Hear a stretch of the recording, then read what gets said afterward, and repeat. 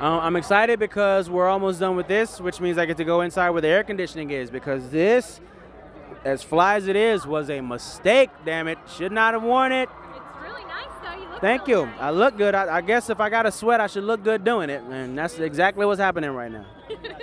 um, what do you think makes the VMAs so different? From, Um, just the unexpected. You know, for one, okay, let's let's look at where we are right now. This is a double decker red carpet. Like, who the hell does a two story red carpet? Only MTV can get away with this. Only the MTV Video Music Awards can get away with this.